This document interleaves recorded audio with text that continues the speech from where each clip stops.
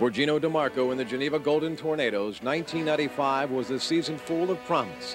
The steady rise of the program pointed toward a flourish of big victories, yet the question that had dogged Geneva college football for decades still remained. Could Geneva consistently compete with the best that the NAIA had to offer? Could Geneva handle a schedule devised to test even the stoutest of football squads? And could Geneva finally overcome the age-old obstacle that was Westminster? For Gino DeMarco and the Golden Tornadoes, the questions provided a catalyst for action. Because in 1995, Geneva College had all the answers and then some. In 1995, Geneva College football dared to dream.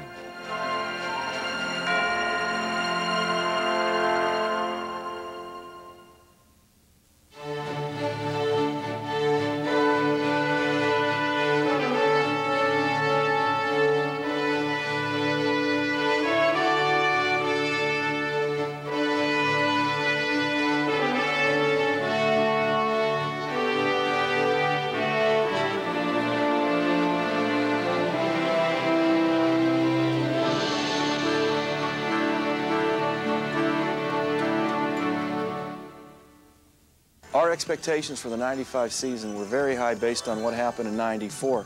We had a, a strong nucleus returning. We had uh, uh, our program believing in that they could win. We had to find some key players, especially on offense, that would fit those necessary roles. In week two, West Liberty tested the upstart Tornadoes. It was a test Geneva was more than ready for. Geneva's defense set the tone early, showing why they were fast becoming one of the top units in the NAIA.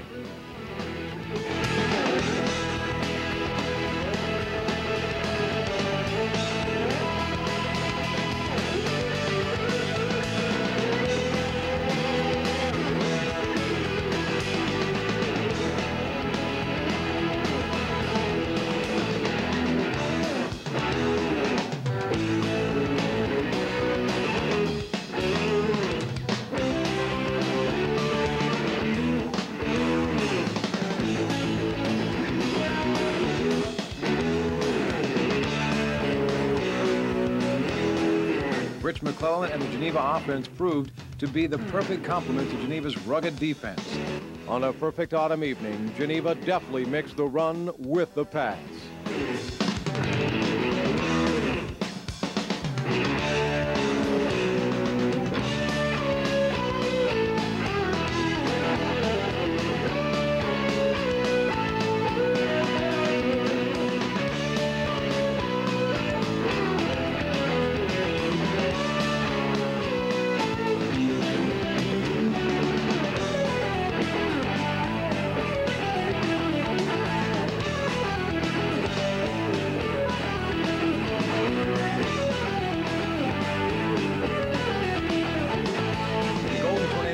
Defense buried West Liberty early.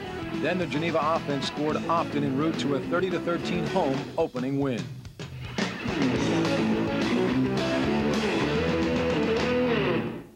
In week three, Taylor visited Geneva with hopes of solving the stingy Golden Tornado defense. Taylor's hopes were dashed early and often by a Tornado D that confronts and triumphs.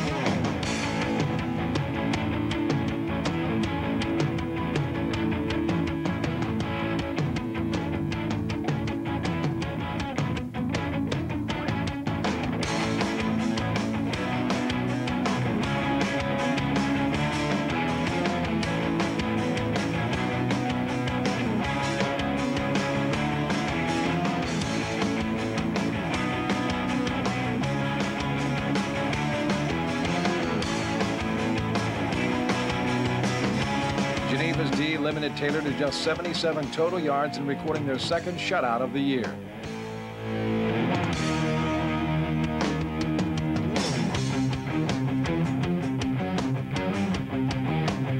Meanwhile, Gino DeMarco's offense wrote the perfect recipe for success, mixing equal parts run and pass.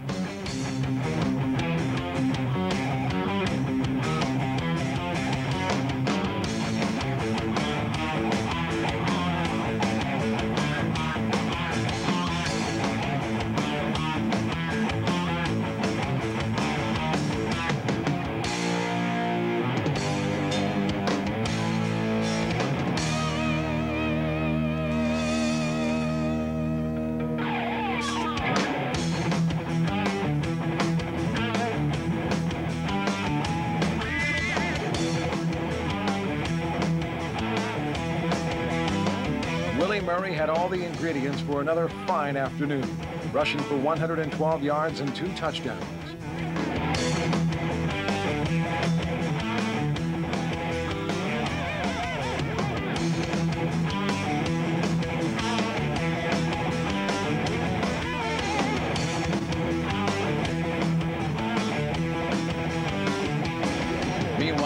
McClellan to Ron Michelle combination accounted for seven completions and two more scores.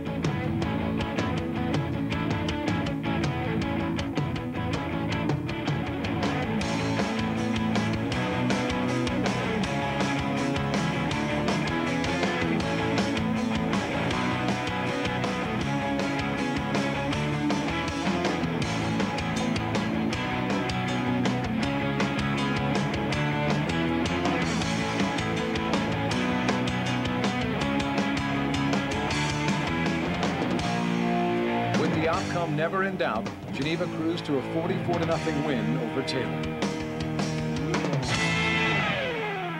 In week four, Geneva dominated visiting Urbana with an offense that they played with the precision and grace of a symphony.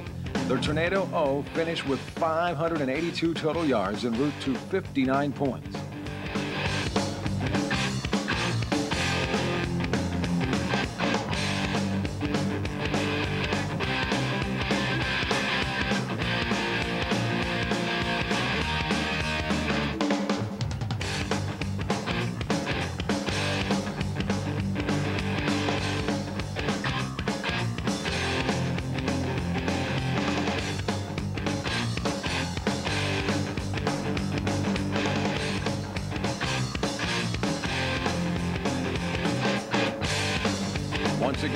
It was Rich McClellan orchestrating the offense like the conductor of the Boston Pops, with confidence, savvy, and a flair for the dramatic.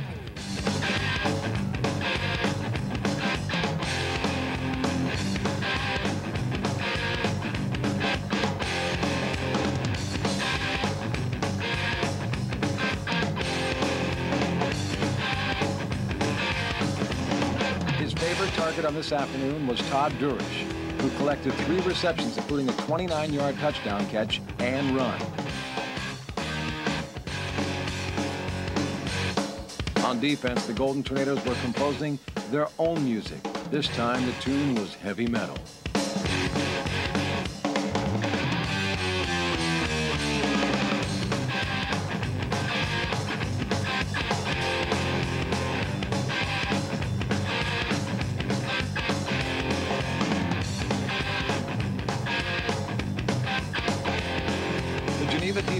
Punished Urbana and pummeled them into submission.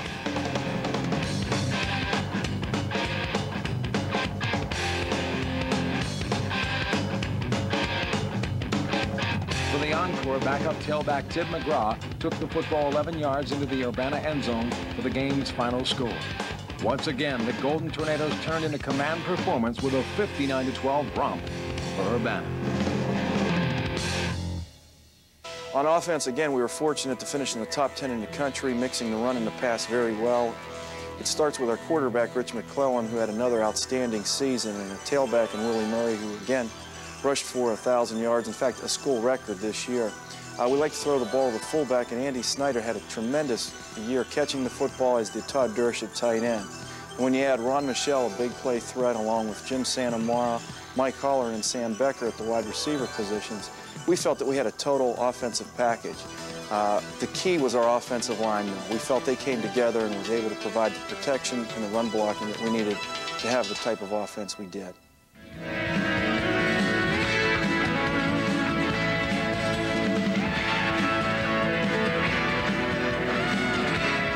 On offense, DeMarco employed a fistful of weapons all directed at one target, the end zone. With a double threat in quarterback Rich McClellan, the offense was poised to attack. McClellan utilized the acrobatic skill of wideout Ron Michelle to perfection.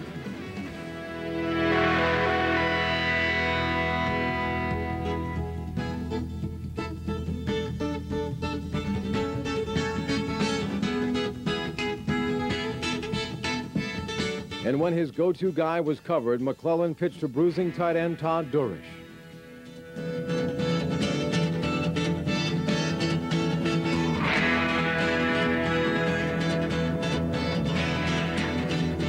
If McClellan and his receivers provided the heart of the Geneva offense, the offensive line and Willie Murray provided its soul. Murray's burst ranked with the finest in Geneva's rich history of rushers.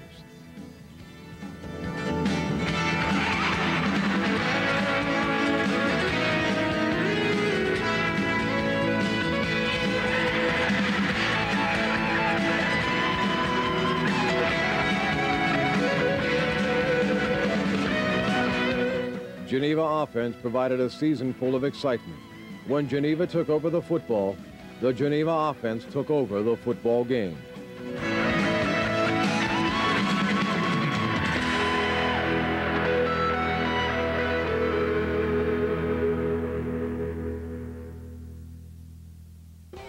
In week five, Geneva faced its sternest test of the young season.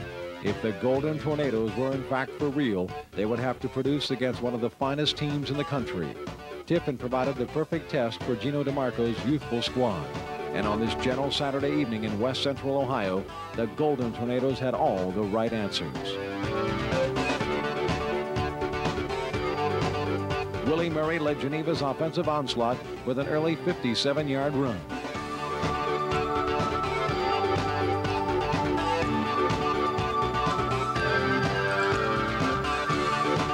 A score, Murray again took off for the end zone, this time from 51 yards out.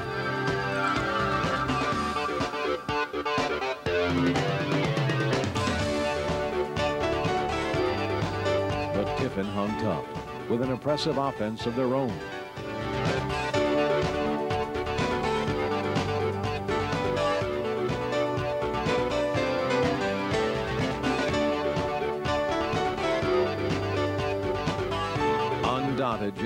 Continually riddled Tiffin's defense, mixing the run and pass to perfection.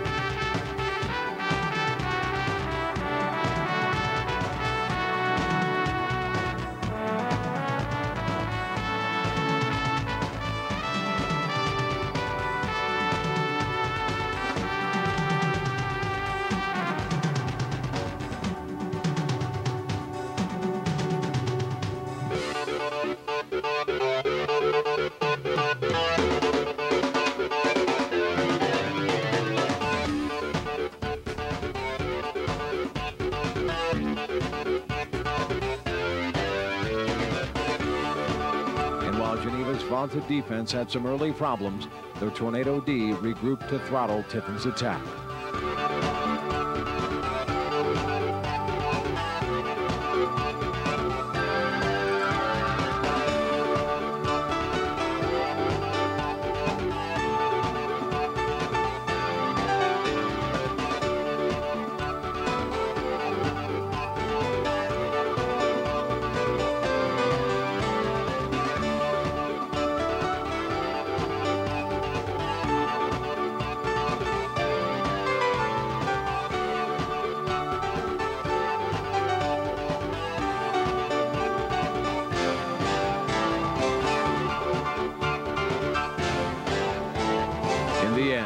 Geneva impressively winning the battle between top 20 teams, 48-28.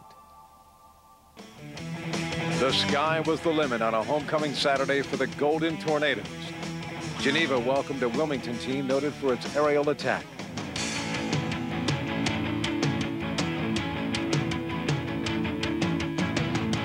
The stalwart Geneva defense closed down the airways via the interception.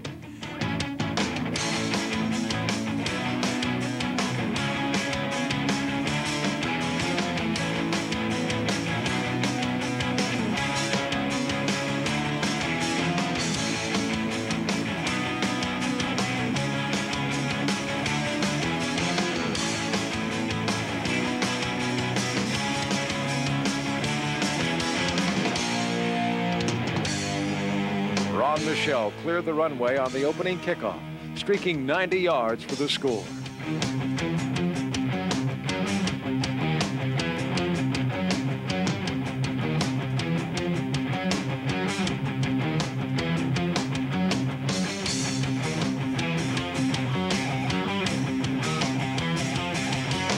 There, Gino DeMarco's offense turned the INTs into golden tornado TDs.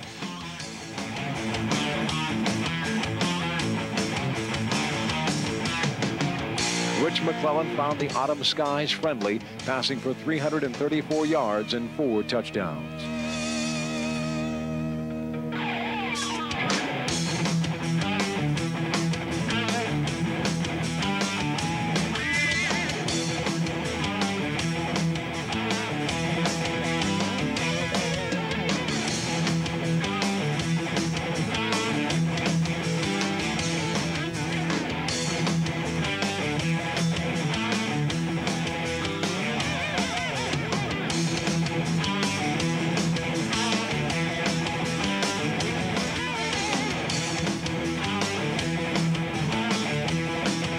Jim Santomaro gathered seven receptions and Ron Michel added seven more on this record-smashing day.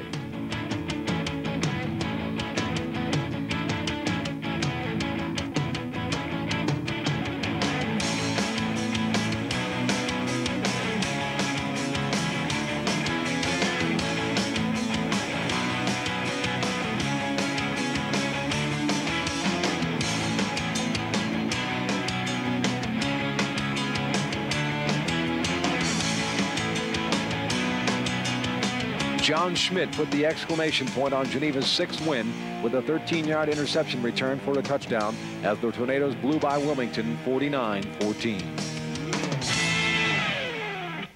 This year, defensively, we were able to finish in the top four in defense, and I think due in part to the people that we had up front. Uh, Paul Worsing had a tremendous year at nose guard, as did John Schmidt, Seth Rosenberger.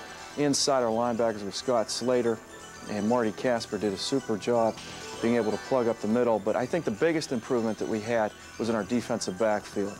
With Jason Carter at strong safety, Damon Moore, and Gary Sharp at free safety, along with John Rose at short corner.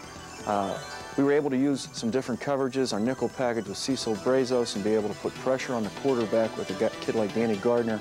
Allowed us to use so many different schemes that I think really confused some offenses. On defense, DeMarco devised a breakneck crew with one mission in mind impede the offense. To the chagrin of the opposition, Geneva's defense took the mission to heart.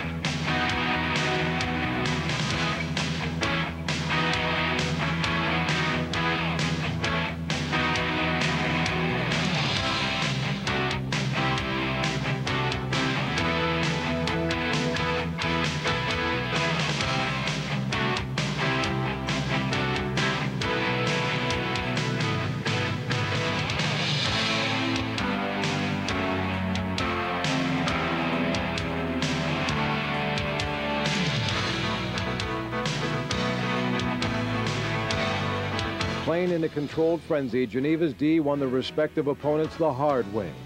They earned it. Geneva took its perfect record to Akron, Ohio for another October date with Malone. Early on, it looked like business as usual for the Golden Tornadoes as Geneva jumped out to an early lead. But Malone scrambled back, and for the first time all year, Geneva had a dogfight on its hands.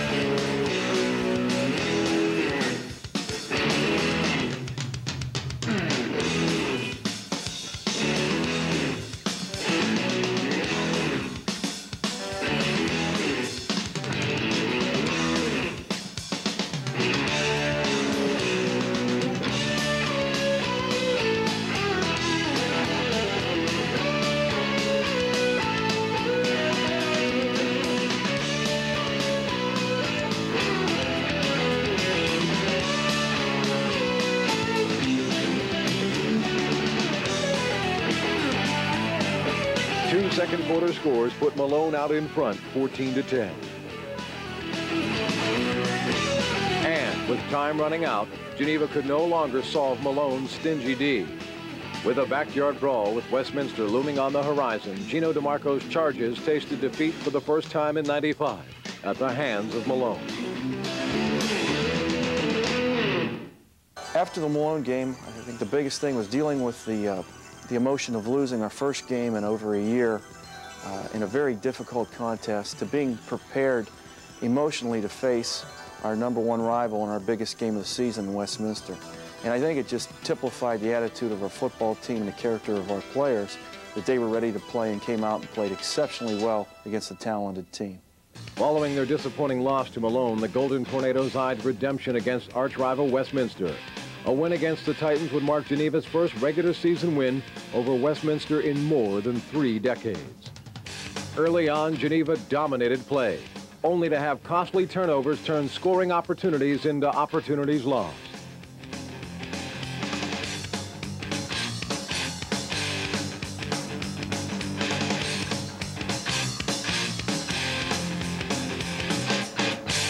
Despite totally dominating the Titans, Geneva led by a scant field goal at the half. In the second half, the November sky turned ugly, and so did Geneva's disposition. On defense, the Tornadoes punished Westminster for 37 years of insolence.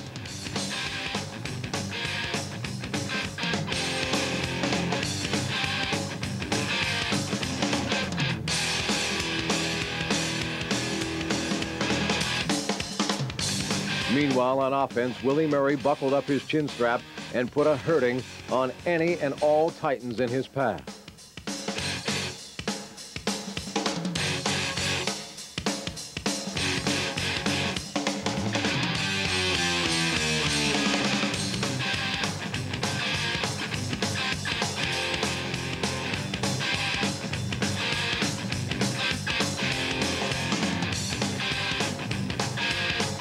Murray's onslaught put Geneva in command of the game, and the Tornadoes could sense their date with destiny.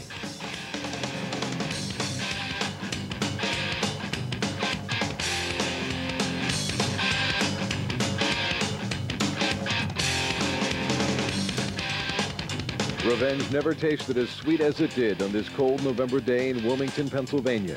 The final score, Geneva 17, Westminster nothing. In its first playoff game in nearly a decade, Geneva was primed to avenge an earlier loss to Malone. On offense, Geneva sliced through the Malone defense en route to an early lead.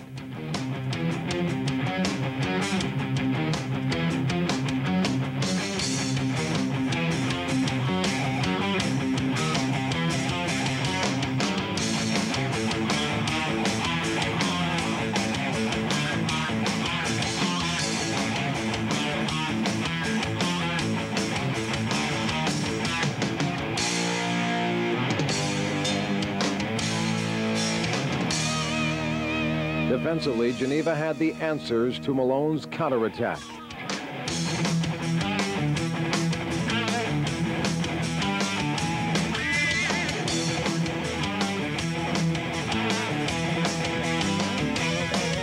But late in the fourth quarter, Malone countered behind a wild scramble by Shane Nalepa.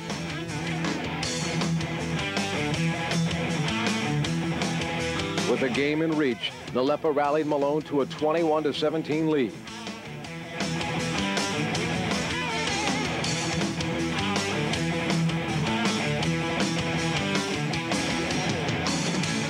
Ron Michel had a counterpunch of his own. With just a minute left in the fourth quarter, he shocked the crowd racing 98 yards for what seemed like the game winner.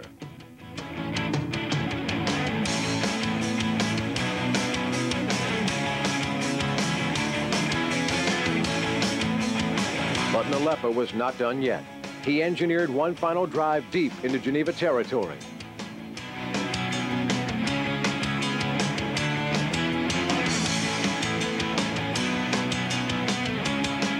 And Bennington's 27-yard field goal, as time ran out, dashed Geneva's hopes for a national title.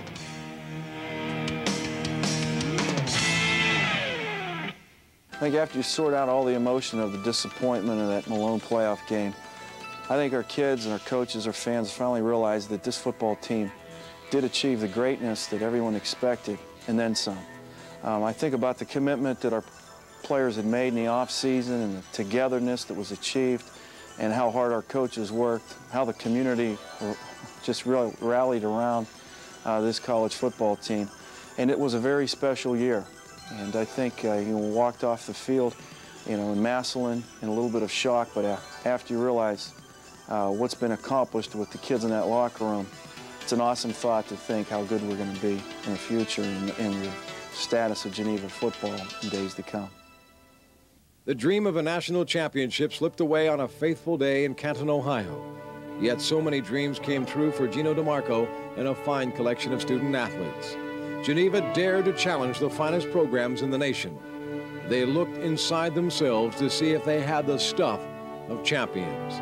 And on a blustery November day in Wilmington, they discovered the answer. Geneva was ready to play football with the best the NAIA had to offer, and they were poised to succeed.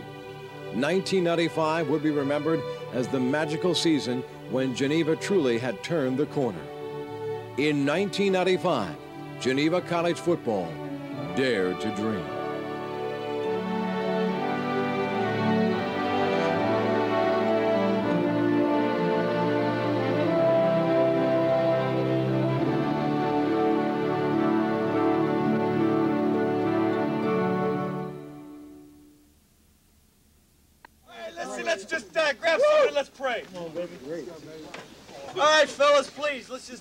Just two minutes. Lord, we just uh, thank you. Lord, we thank you for the effort of the coaches. Thank you for the effort of the administration, but Lord, I most of all thank you for these guys.